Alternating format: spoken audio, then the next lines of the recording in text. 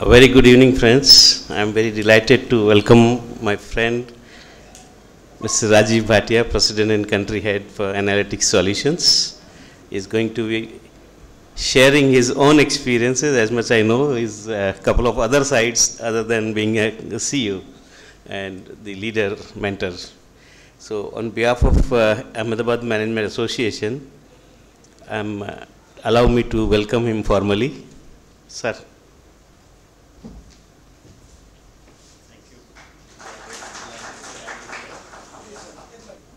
So friends, uh, Mr. Rajiv Bhatia is President and Country Head of the Analytix Business Solutions India Private Limited, an outsourcing company which is specializing in providing technology-oriented, enabled and value-driven solutions that help businesses succeed by focusing on growth and profitability. He is responsible for guiding and operations and managing the growth of the organizations, uh, which I am personally a witness to it. During his career of more than 35 years, Mr.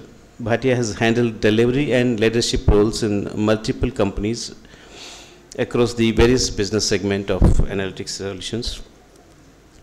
He is quite adept at growing teams, leading change management programs, and creating value for all internal and external stakeholders. In various roles over the years, uh, Rajiv has been an integral part of the growth journey of large, medium, and small organizations. He is a proven change management leader and has led businesses and teams to success during the periods of uncertainty and market transition.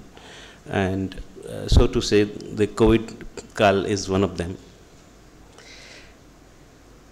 Mr. Rajiv acquired a bachelor's degree in commerce from Sri Ram College of Commerce, New Delhi, and, and he's an MBA finance from National University of Singapore, NSU.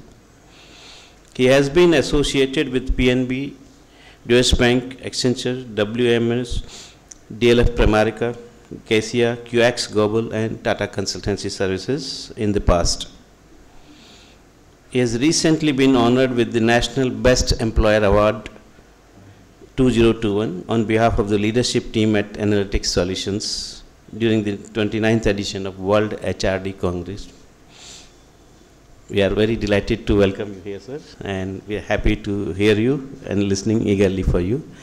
Uh, before that, I would like to add, sir, that Ahmedabad Management Association is very, um, as you know, it was founded by Vikram Sarabhai and it is, has a legacy, legacy of its own. For the 19th time, this year, we have received the Best Management Association Award uh, very recently. It was given in the New Delhi. It's a matter of proud for us, and we are very consistently performing to uh, live up to your expectations of all of you. Thank you, sir. Thank you very much. Allow me to welcome Mr. Rajiv. Good evening, everybody, and really thankful for this honor. Uh, really, really indebted to Ahmedabad Management Association and Mr. Shailesh in particular, uh, and of course uh, Mr. Unmesh Dikshit as well. Uh, it's been an absolute pleasure to be associated with the Ahmedabad Management Association. I recall my earlier uh, interactions as well. I remember we did a seminar in this very room uh, in terms of how to maintain work-life balance and and also uh, uh, you know we had actually had a client come over and give a talk in terms of uh, um, you know what are the benefits of a vegan life you know having a vegetarian or a vegan diet or so so to speak. Um, and um, one of the things that I must mention is that um, Ahmedabad Management Association has been extremely, extremely, uh, you know, in, in, in layman terms, a very clean organization, an organization which just follows, uh, you know, very strong ethics and principles and, and uh, morals as well.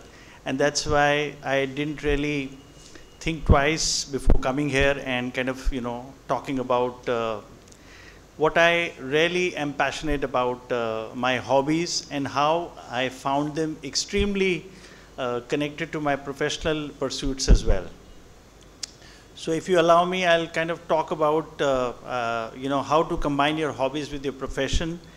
And the intention here is uh, that possibly what worked for me may also work for some of you. Uh, I see some old timers like me, uh, and I'm sure that they would be also, uh, you know, they'll kind of identify in terms of what I'll talk about. Uh, but um, uh, just to, you know, give you a perspective, uh, I started two of my hobbies, and we'll talk about that during the presentation.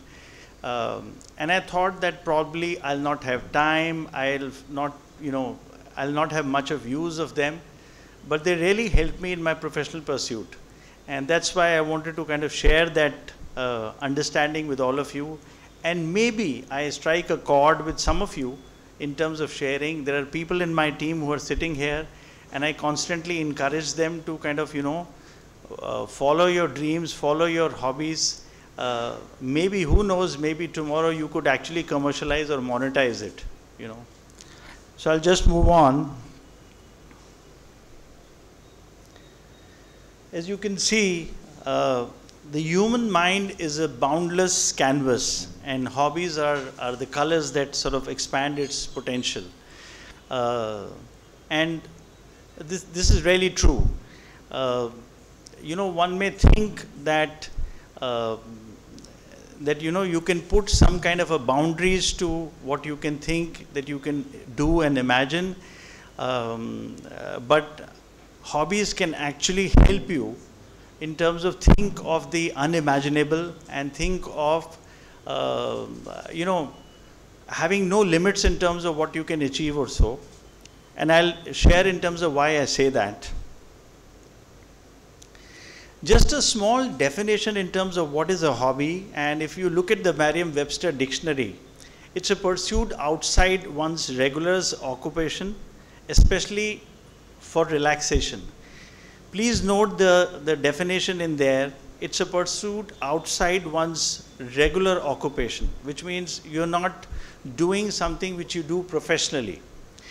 And also to summarize, it's an activity or a pursuit that an individual engages in voluntarily, which means there's no external pressure, there's no societal pressure, there's nobody who's pushing you to do it, it's coming from within.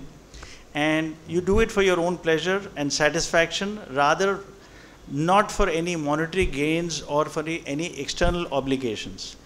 Now, while I say that, that you don't do it for monetary gains or external obligations, my personal experience has been that it actually can help you even improve in terms of your external obligations or monetary gains or so and without actually diluting the significance of your hobby as well. I'll just give some examples and you know this is just for reference some of the hobbies that are typically followed by all of us when you ask a physical or an active hobby like hiking, archery, campus, uh, camp, uh, camping, running, even tennis, I would say, uh, or any physical sport, creative and craft hobbies, which is painting, knitting, pottery, etc. Mental hobbies, which is reading, blogging, learning, solving, etc. Musical, you follow your musical pursuits, uh, singing, playing, instrumental music. Collection hobbies, which is collecting stamps, coins, books as well and of course the professional hobbies like photography, designing, poster making and anchoring. And I'll give you some examples in terms of how some of my own life uh, examples and of uh, you know my friends and associates who've been really able to benefit from some of these hobbies or so. There's a very strong myth or a false belief that hobbies cannot be pursued with work or your regular profession. And some of the common, common myths are pursuit of career. So, you know, all of us will say, well, I am pursuing a career, I cannot pursue this hobby. I am having a time crunch. I will not be able to devote this much of time to it. There are deadlines to complete. There is competition if I pursue my hobby, uh, the people that I'm competing with will actually get ahead of me. There's lack of confidence. Uh, you know, this hobby is more of a what, what we call as bathroom singing or what we call as, you know, closet drawing or writing or poetry and things like that. So there's lack of confidence that, you know, I'm no good. I'm just good for my own self. It's no good to be shared with people outside. Resource availability, which means if I have to actually follow it, then I need some money, I need some time, I need some effort. So there's resource availability or a resource crunch. There's unrealistic or perfectionist expectations. If I follow a hobby, then I have to be a perfectionist. I have to be absolutely brilliant. Only then I'll be able to, you know, sort of make a mark into it. I think these are all myths. I think these are all false beliefs that we ourselves put some conditions on, some bound, you know, foundations on. So uh, I think this, these are all, my personal case, I found that these are all, uh, you know, wrong assurances that we give to ourselves. You know, I've, I've completed about 35 years of, of work now, and I realize that when you reach a certain point in your career, you need to look within uh, that if you have to make that, you know, that effort between good to great, you have to expand your potential. And that does not necessarily come from working more or, you know, working even smarter. You've got to add that creative element in your work also. You know, you have to think in terms of without any fear, without any structure also. And it generally comes when you train your mind differently. When you, when you say that, you know, I'm not going to, uh, uh, you know, kind of create certain things just as per expectations. I'll think creatively and that's where hobbies come into play. That's where you, you can tap into the creative pursuit as your escape and it will bring in new thought dimensions, new ways of looking at things or so.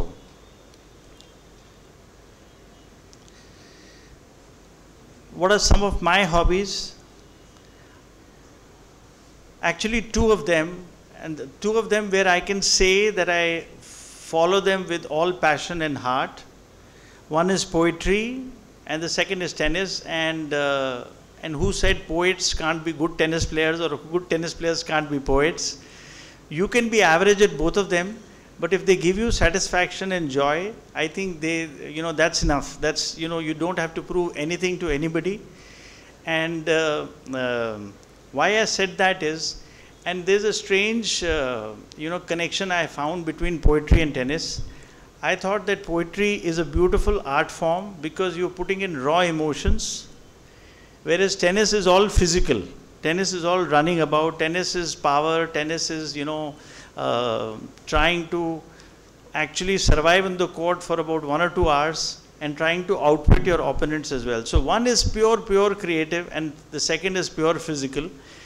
So I thought if I follow these two and there was no science or method into following these hobbies or so, I just liked them.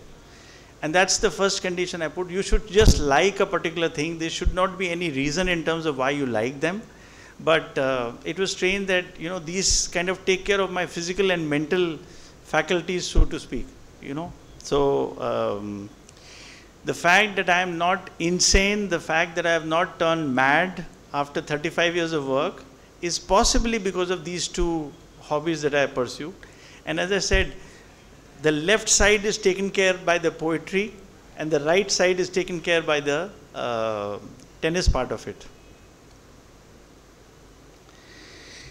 I did not do that badly or I would like to believe that I did not do, do, do that badly in terms of the hobbies that I pursue. I have written a couple of books. One of them is shown here called Whispers of My Soul. It was published in 2019. Uh, and um, it gave me an immense creative satisfaction. It very momentarily became a bestseller, very, very momentarily, I would say probably for about a week or so, because it got sold out at Amazon in that particular week or so. Uh, but that's enough for me. I, I was not looking for any commercial success out of it. In fact, what I thought was that I will actually uh, donate the money that I get out of the proceeds to a, to a social organization called Handicapped Children Rehabilitation Association. Uh, so I wrote this poetry book just to kind of, you know, satisfy my own uh, creative pursuit.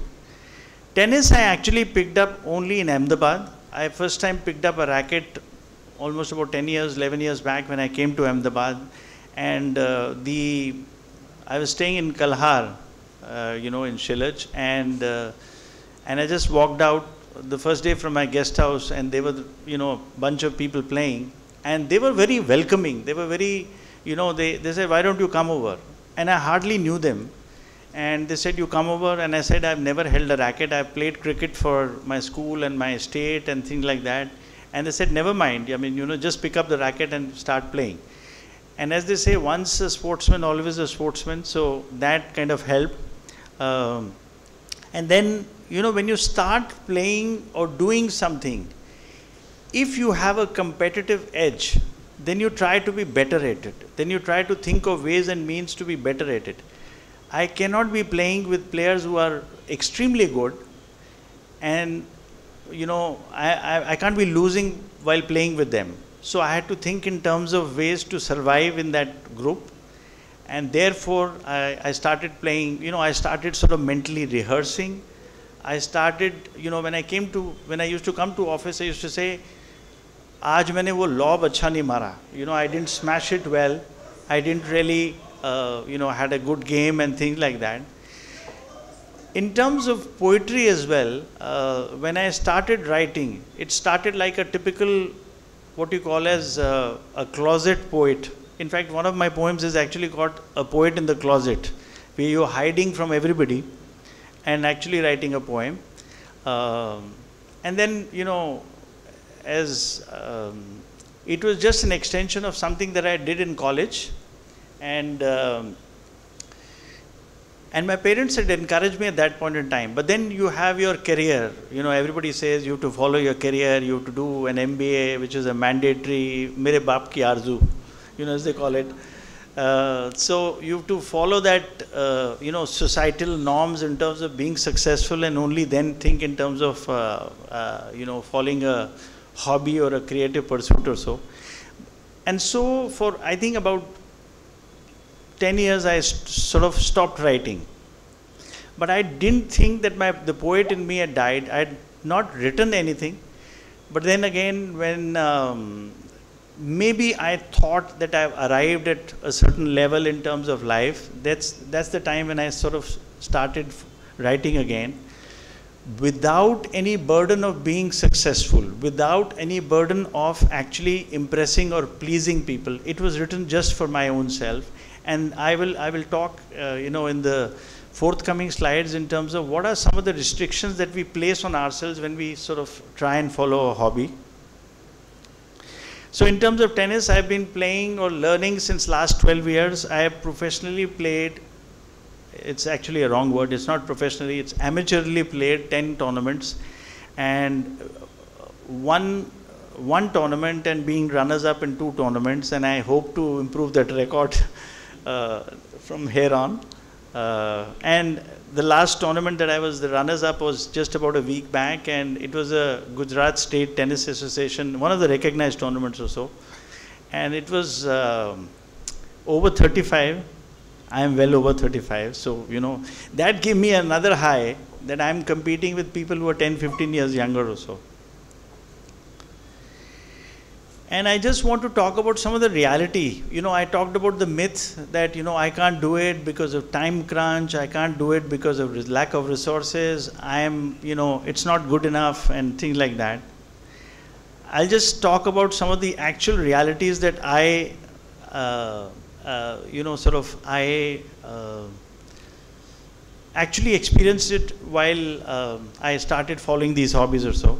I personally feel that if you follow something, and that something can be anything, it really keeps your creative juices flowing. It reflects into your work because because you've you followed your hobby you can use the same amount of creativity in your own work and see how can I add that another dimension of it or so.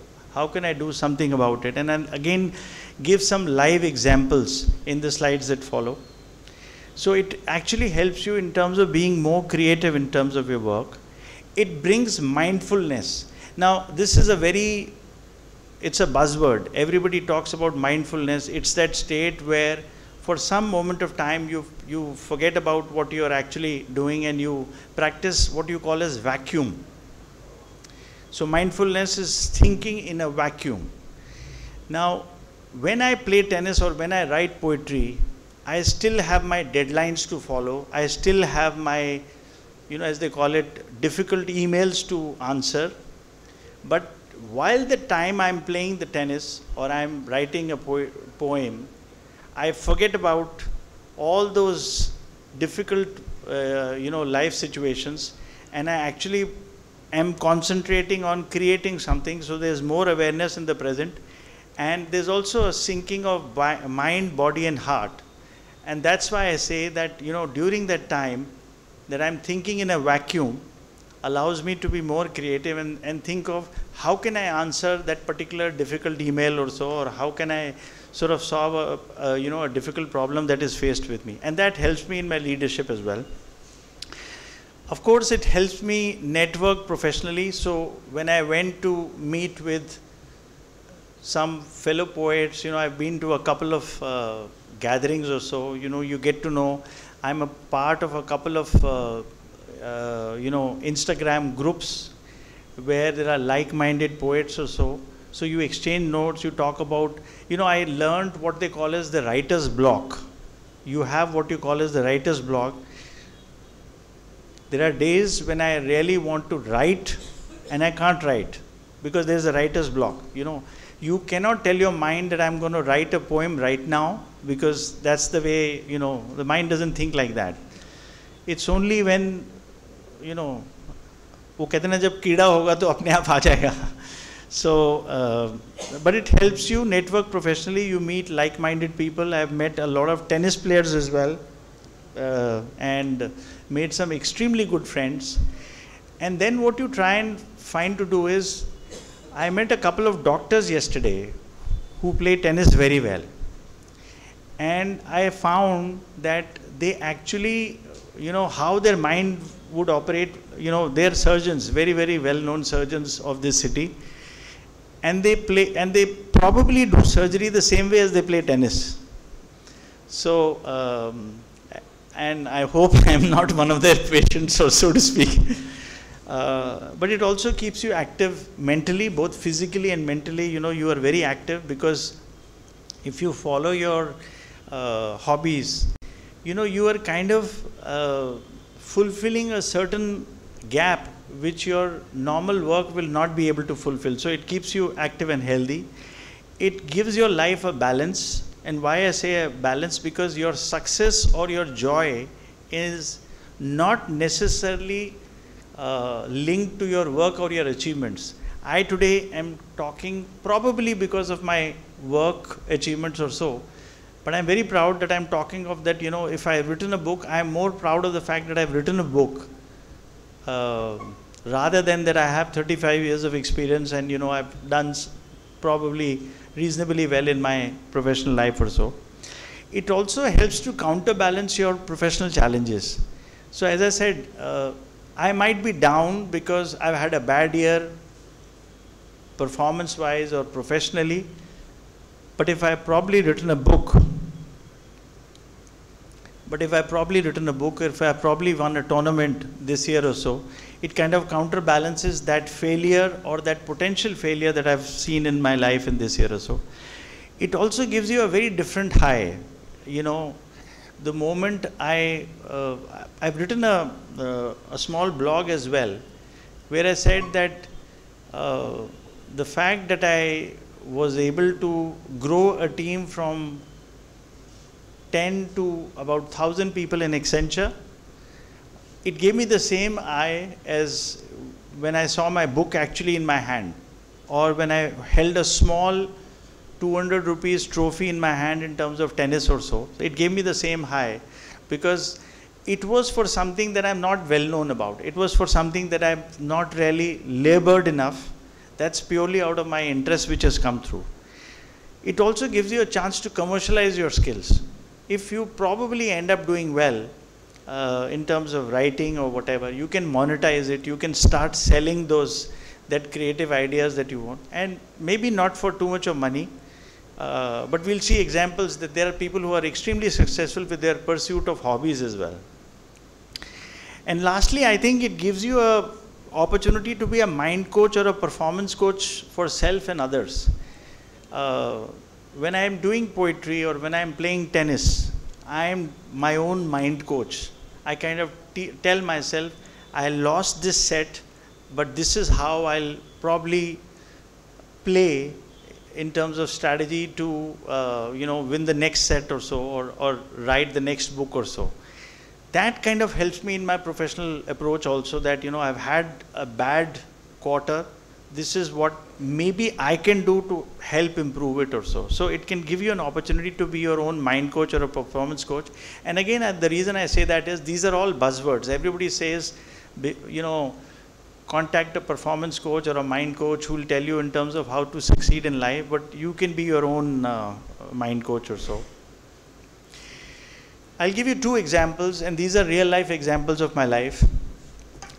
I had a classmate in school, and uh, actually in class 10, and he was a science student, and I went into commerce after, you know, 11th. I mean, in 11th, I went into commerce stream, and he went to the science stream and he used to actually make small sculptures, you know, uh, or pottery things or so.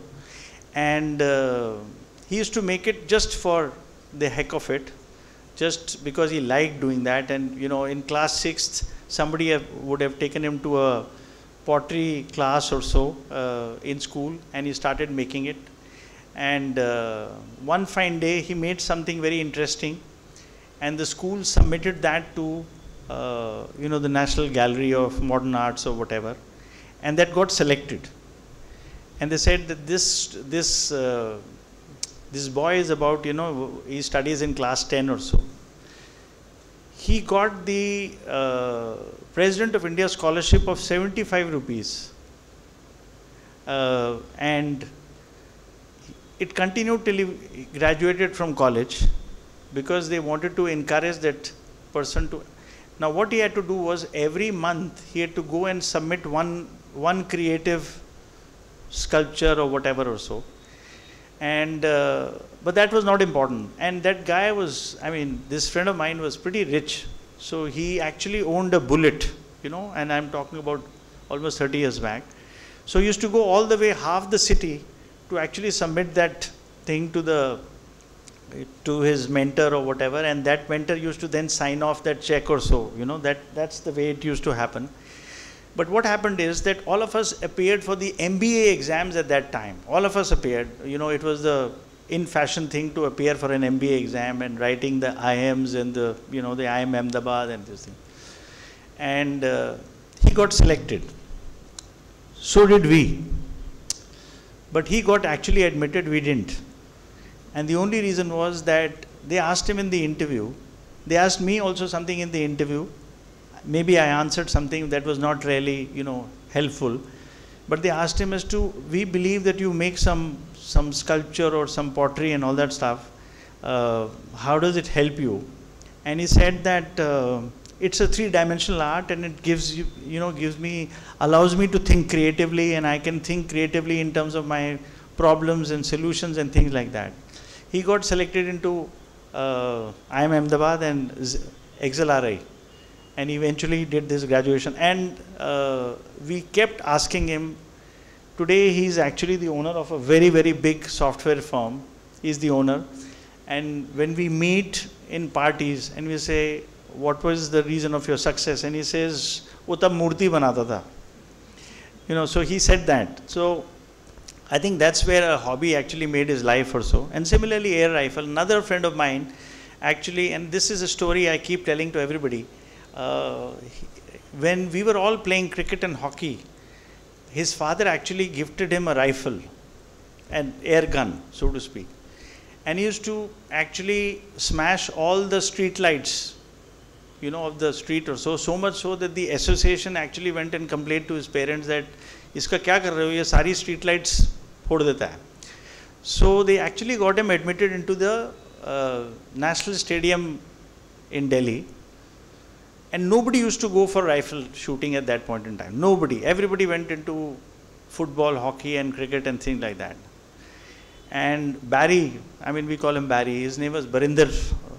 He, he was a, a, Sikh gentleman, I mean, Sikh uh, friend of ours. So he went into this air rifle shooting, and there were total of four, four children who used to go and study that. I mean, rifle shooting or so.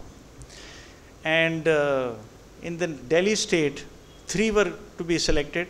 The third one got sick and our friend got into that team or so, and he got that Delhi State rifle, uh, you know, team membership, you would say or so. So he became a state level player kind of a thing. And because he became a state level player, he got into Delhi College of Engineering. Because he got into Delhi College of Engineering, he went to US, and uh, there again he got into you know admission into one of the top universities of New Jersey or New York or so. Again on the basis of not his engineering degree but because in basis of that shooting thing because he said i am a state level shooter. And they said you will be able to contribute i mean in terms of diversity of uh, this thing so we have a national level shooter also amongst us also today he owns five houses in miami uh, in us and uh, again as an alumni turnout uh, he's probably one of the top 10 richest guys from our school or so. And we again asked him, what did you do differently? And he says, bas wo rifle chalata tha. You know, so uh, these are all examples in terms of how you can actually use your hobbies or creative pursuits into things which can help you in life. Now, just for a hobby to be an impactful pursuit, I think, uh, I mean, I've said all good things about hobbies or so, uh, but I must, I must put some conditions or caveats, so to speak It must be a self-discovery. I can't teach you to, you know, follow a particular hobby just because you, you know, you, uh, I'm, I'm telling you to do it or so.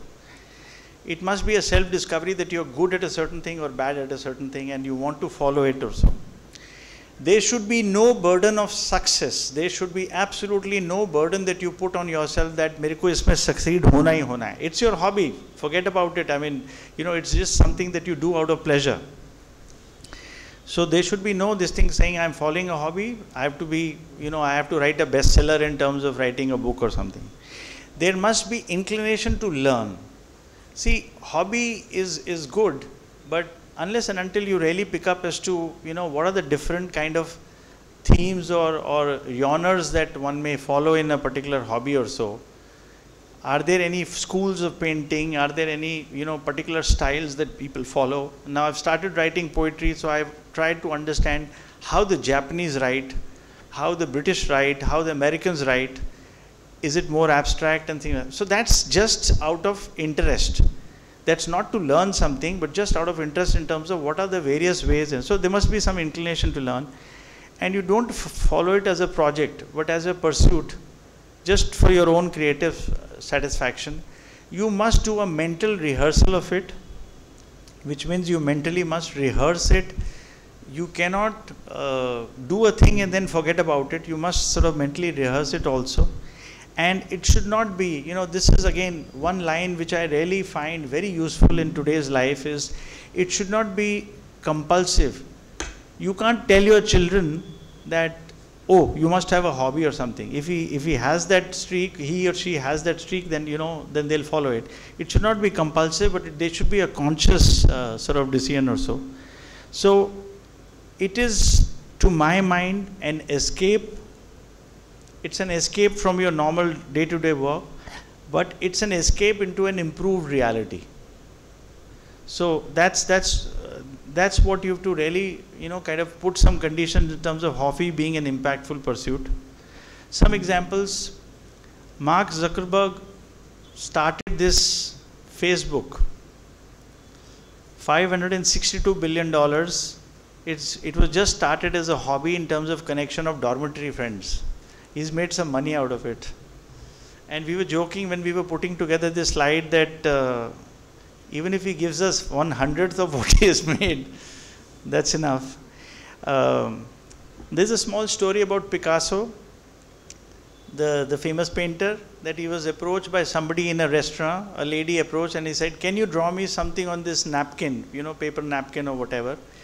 And he drew that.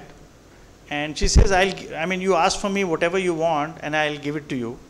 So he drew something in two minutes and gave it to her. And she says, How much? He says, $10,000. And uh, she said, But you took only two minutes to draw it. He says, But I took 20 years to practice it also. So 20 years of practice have gone into making this two minutes of uh, drawing or so. Harley Davidson, uh, hobby of two friends who saw this as a innovative bicycle design, so to speak. Again, this was a hobby, so to speak. And we have the two contemporary writers, Rashmi Bansal and Chetan Bhagat, uh, from across the across the road. Uh, IIM Ahmedabad graduates who returned to book writing or so. And then we have Amish as well now, who's written so many mythological books or so. So these are some examples where people have followed their heart. They have followed their uh, mind and actually tried to commercialize and monetize that also. In the end, I'll just mention that, you know, this is a very famous Walt Disney quote all our dreams can come true if we have the courage to pursue them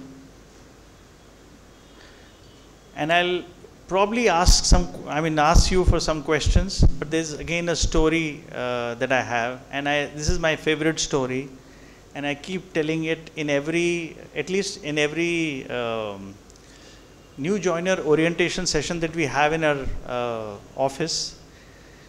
This is about uh, the book Alchemist. So, in the book Alchemist, uh, they say that. Um, you know, a son tells his father that you have to go and find out about the secret of happiness. The secret of happiness, and go to this other town where there's a very rich man staying there. He's very rich, very successful, and very content.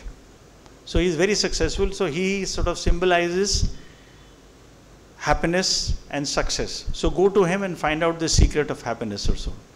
So this boy goes to him and says, I have come here to learn about the secret of your happiness. What is the secret of happiness? And the, the, the old man replies that I'll tell you, but do one thing. I'll put a spoon in your mouth which has got, you know, which has got oil.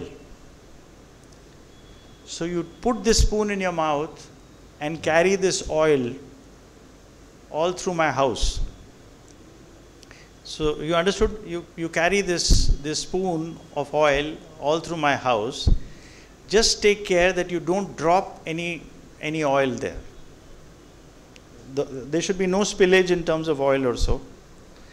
So our boy goes throughout the house and for two hours he, is, he keeps going around because it's a large house and he comes back and you know the, the spoon is full, no drops have actually dropped or so and he says, uh, Oh, very good. I see that you know you've not dropped anything from your spoon, but did you see my house?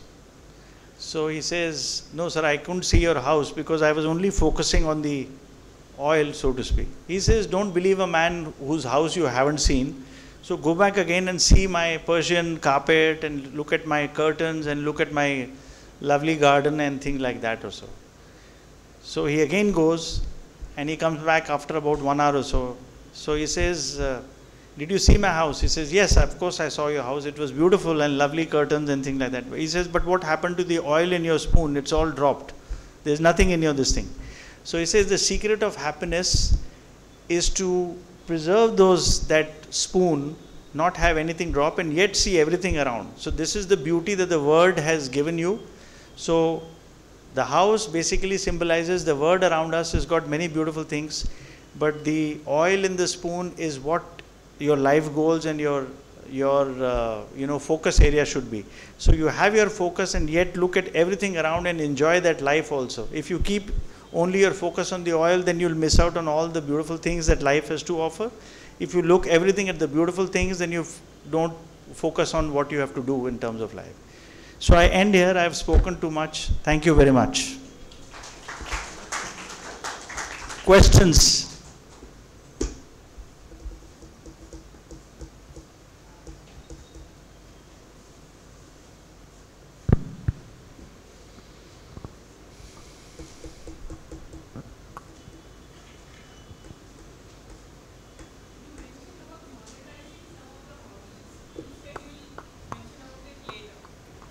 Sorry?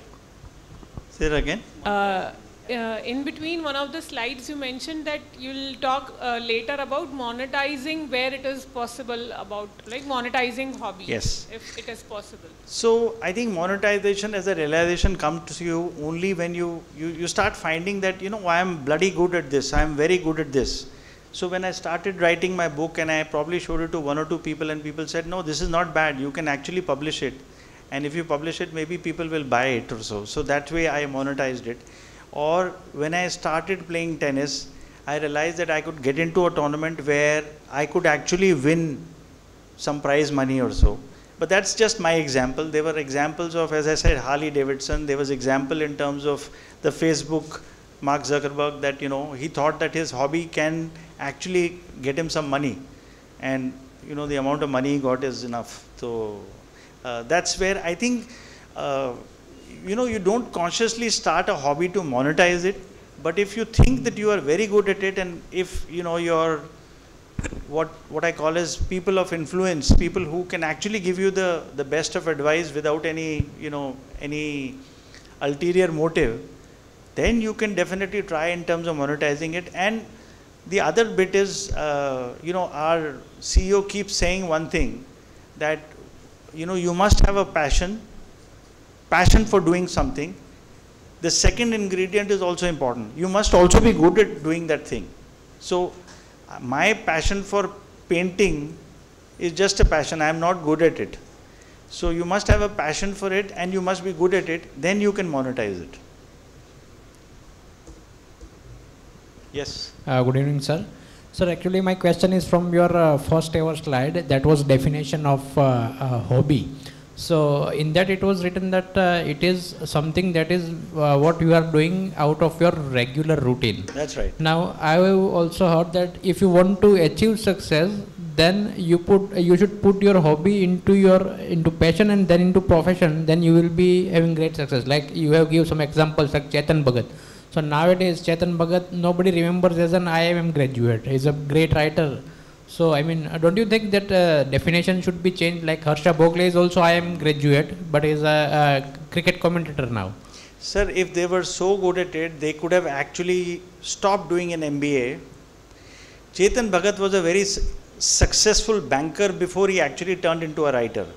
So he first ensured that he's got the money in the bank. He first ensured that he has made his millions. He was a very successful banker in Singapore. And in the process he also realized that his passion lies in writing. And he can take a conscious break leave banking and have an alternate career because he's very good at it and it's his hobby. Similarly you know there are other examples where people you know first they'll ensure that they do their their whatever they're supposed to do see if i do poetry while i'm working then i'm sure i won't be able to do a good job of neither. You know, I w- won't be able to even, you know, work well. I won't be able to write well as well. So I think you have to do it outside your, uh, you know, what you earn for a living. Because if I don't mention about that, तो जो नौकरी है उससे भी जाओगे so it is better that you sort of ensure that you are good at what you do then you can also use that creative hobby or pursuit or so uh, to a greater advantage, so to speak. I mean, I'll never advise somebody to not, uh, you know, I mean, unless and until you really believe, you've got the passion to uh, believe that you will be very, very successful. I mean, we've got these actors and all who, I mean, Amitabh Bachchan, he was, he was a uh, executive in a company called Birds and Company in, in, in Calcutta. And uh, and he told his, he wrote to his father saying that I want to leave that job and come to Bombay in terms of following this. And he actually got a real, uh, you know, whiplashing from his father, so to speak. But you, you've got to be courageous as well, and you've got to also believe that you are extremely good in that. So, uh, but I would normally suggest that you, you keep doing what you're doing just to ensure that there is enough money to keep the kitchen fire burning. So, then only try and follow. Yes, sir. Oh, of course, my poem, right? uh, Any of your favorite favorite part of it. I mean, you know, then that's actually injustice to the rest of them. Uh, you mind if I read probably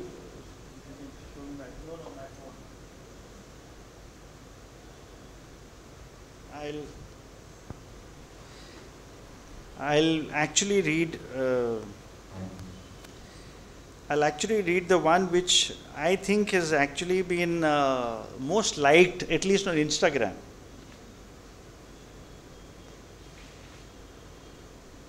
Give me a minute please.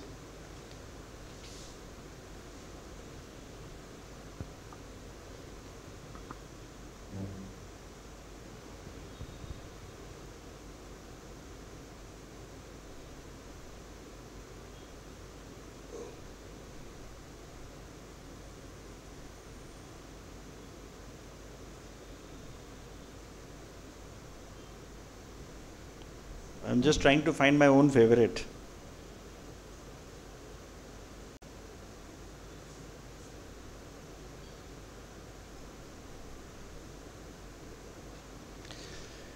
So, this actually did not get too much of Instagram likes, but it is my favorite, so to speak. Uh, the next life will carry its own breath, its own sun, and its own death. But lend me some memories to spill over the next birth. This lifetime is too meager to laugh and cry along. So this, I, what I'm trying to say is that this lifetime is too meager for, you know, uh, for anybody to laugh and cry along. So give me, lend me some, some moments of the next birth also. So uh, this one actually did not get too many Instagram likes because maybe only I wrote, I understood what I wrote, so to speak. Uh, but um, I'm actually trying to find something which is, which was uh, probably uh, appreciated by others as well.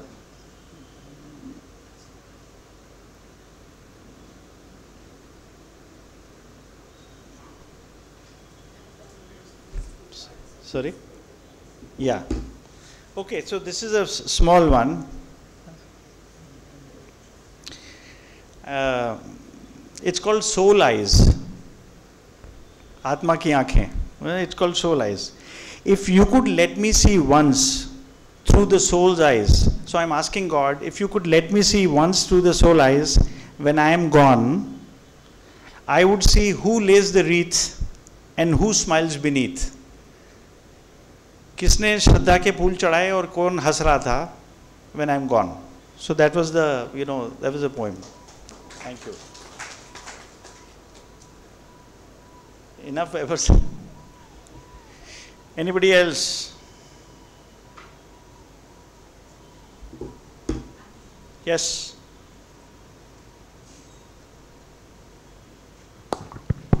So, sir, writing is something you know that is like favored, at least for people who are in communication, something. But then, how do you deal with the writer's block, as you said? You know, sometimes for work also you face that. Sometimes for personal pursuit also you face that. So, what are some tricks where we can?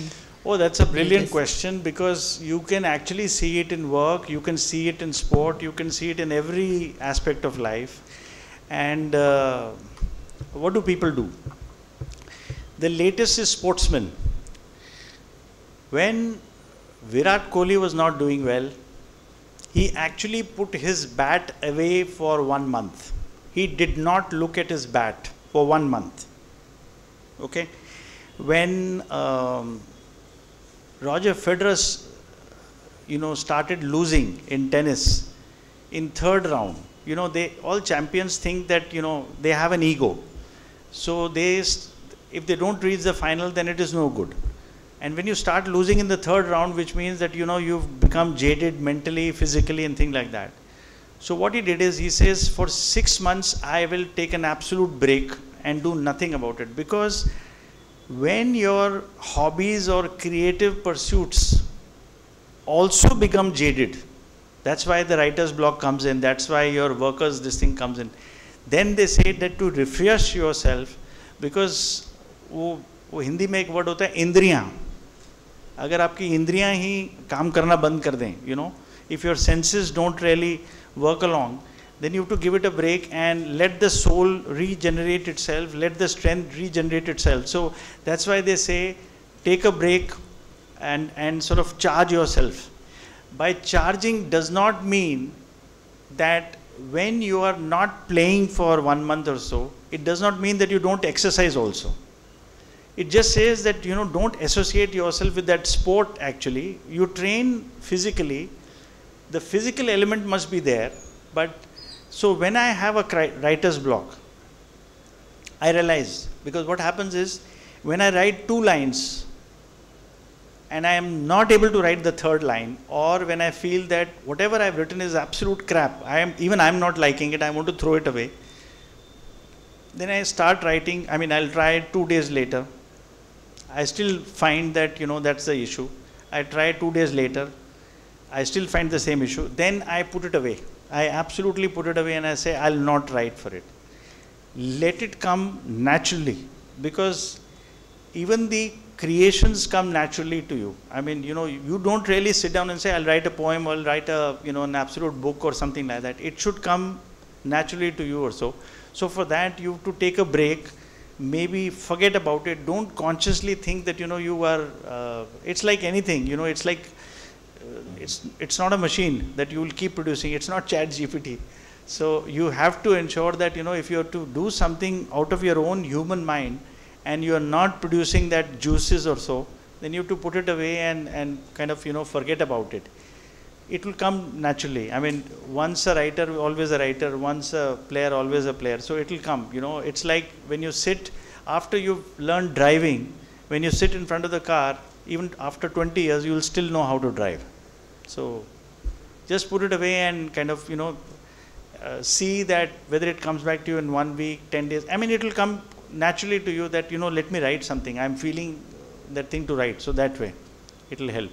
And similarly in work, I think if you think, you know, my father used to always tell me that whenever I get a, got a very difficult email or a very difficult situation to do it, so used to say वो चिट्ठी उठा के अपने drawer में डाल दो and give it two days time I mean presuming you have two days time Nowadays nowadays i mean you know when you have an income tax query or whatever you don't have two days time. But uh, presuming that you have two days time just put it into the drawer and wait for you know that um, response to come in. So uh, but if you try in that disturbed mind to write it then you will not be able to you know do anything about it. So I used to always say put it aside and then you know approach it with uh, with a fresh mind maybe sometime later or something. So it's not necessarily a writer's block it is just an action block. Uh, so that way. Any other questions? Yes sir.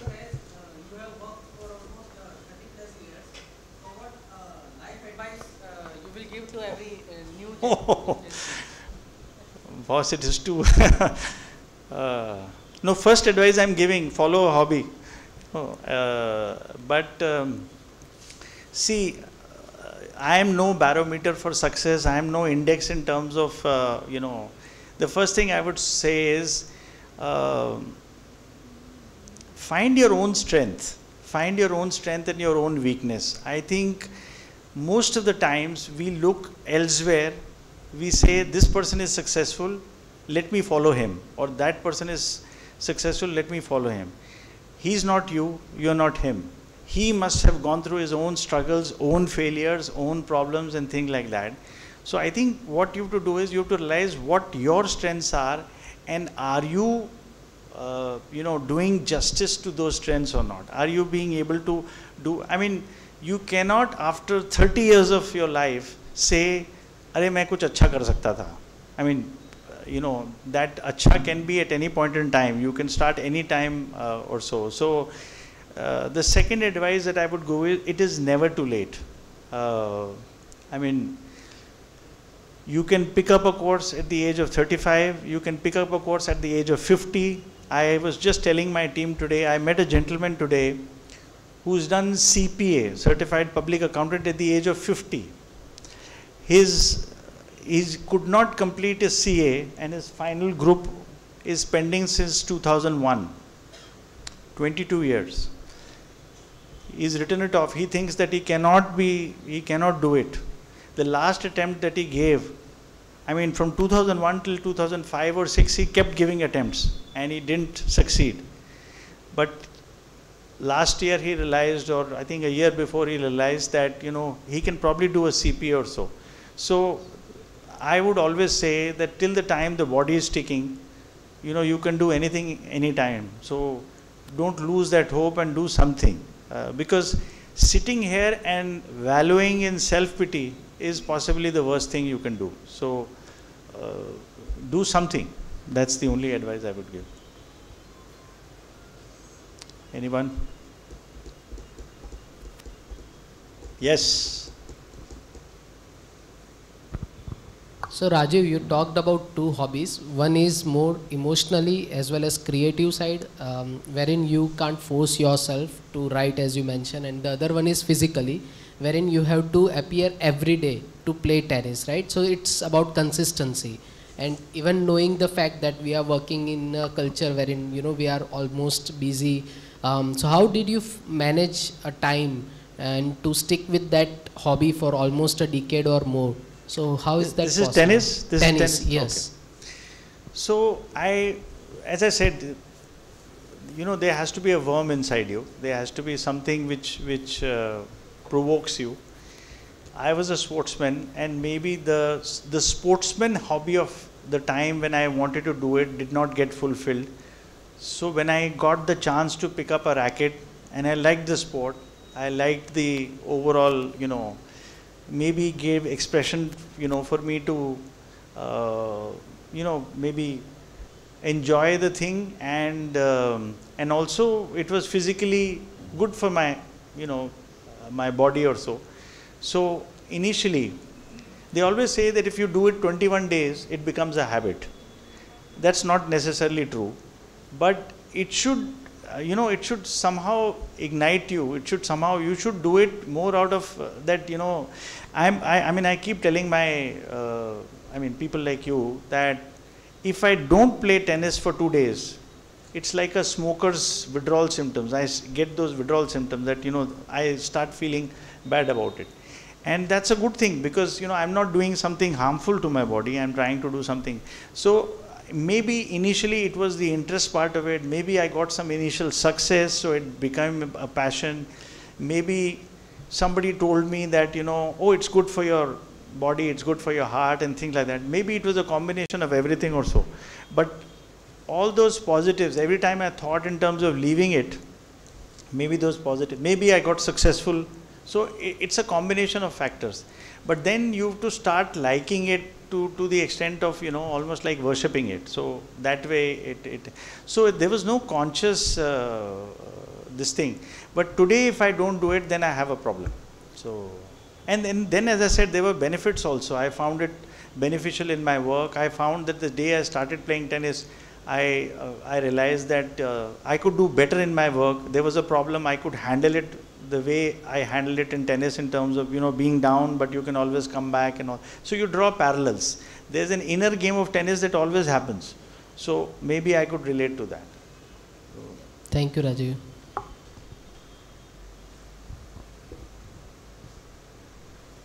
I answered more questions than.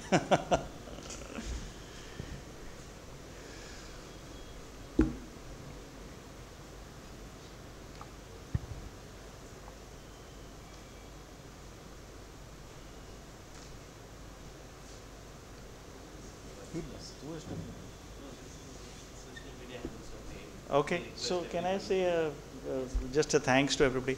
See, I would I would want to thank all of you uh, for just sitting and listening to my story.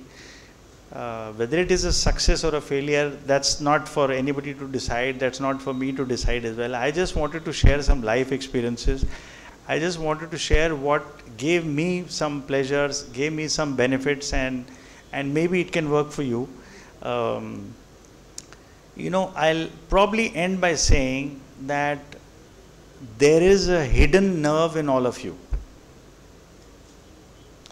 There is definitely a hidden nerve in all of you, whether it is, Uh, and that hidden nerve could be anything. It could be, uh, you know, it could be writing, it could be uh, singing, it could be, and you don't need to be good at it.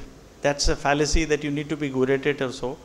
Uh, I said you need to be good at it only if you want to monetize it, but you don't need to be good at it to follow a hobby, right?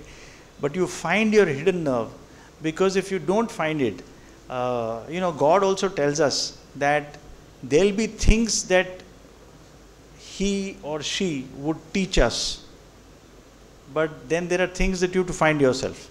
So find your hidden nerve, find your passion, find what you want to do, what you, you know, as I said, you, I get withdrawal symptoms. So find that hidden nerve.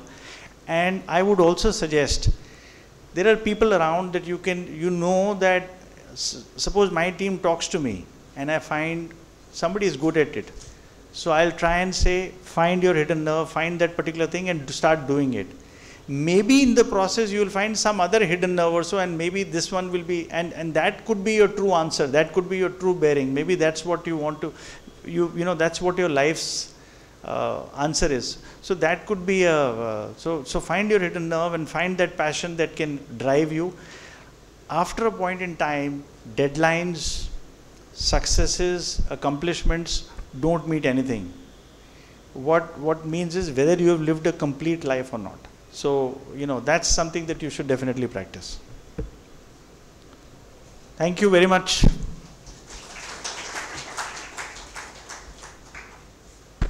So wonderful it is. It was Rajiv Bhai. Um, as he rightly said, uh, the hobby should be uh, pursued. It should not be a project actually, which you do is for a small time and then give it uh, up actually. It should come from within. You should like it and you should like it forever. I remember a, a group of friends uh, who used to uh, like the theatre. So they a common time and it was रात को साढ़े ग्यारह बारह बजे इकट्ठे होते थे और कहाँ इकट्ठे होते थे एक जो रेस्टोरेंट था वो ग्यारह बजे बंद हो जाता था आपको पता ना रात को बंद हो जाता है फिर वो कुर्सी के ऊपर टेबल के ऊपर कुर्सियाँ रख के सब वेटर चले जाते हैं तो उस रेस्टोरेंट में जैसे ये कॉरिडोर दिख रहा है ना आपको, वैसा उसको स्पेस मिलता था और वो वहाँ जाके थिएटर का प्रैक्टिस करते थे। And two of them are now renowned actors today actually so when you have it in you the and other thing he said is there should not be burden of success actually you should pursue it for the sake of it because you are liking it because you are doing it so the more you do it the excellence will come automatically and there will be ways. I know uh, one of my friends, son, who used to play guitar for his own uh, hobby sake actually. And today is invited uh, for the special occasions uh, with a fee of uh, 50,000, 1 lakh rupees, 75,000 rupees. So he has monetized it also, besides doing his own uh, regular, uh, the 9 to 5 job also actually. So it can happen that you can, you will be able to monetize it, but even if you don't, it will keep you alive, as you rightly said. When you are having in the burden of uh, mundane uh, jobs, when you want to get out of it or you are feeling low, this is something which will keep you. You will go to a fellow friend who is into the same hobby and they can read.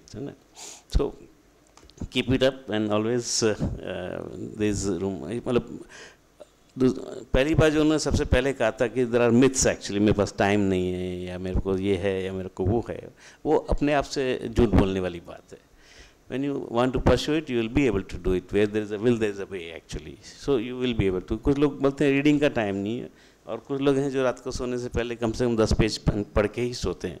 So it is up to you how honest you are yourself to yourself actually and that's where I think it lies within us so thank you so much for sharing your own and I think it has been inspiring also and as you rightly uh, showed um, we have seen the poetry book also coming out of it when he first time said I was actually little surprised but then I thought yes that's how it has to be and uh, more are coming I'm sure so keep writing and keep sharing with us. Thank you.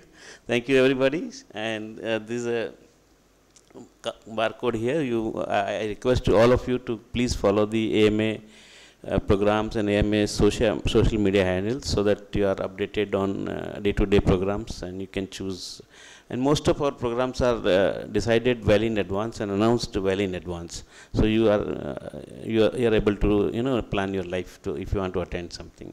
Thank you everybody. Thank you so much for attending the program.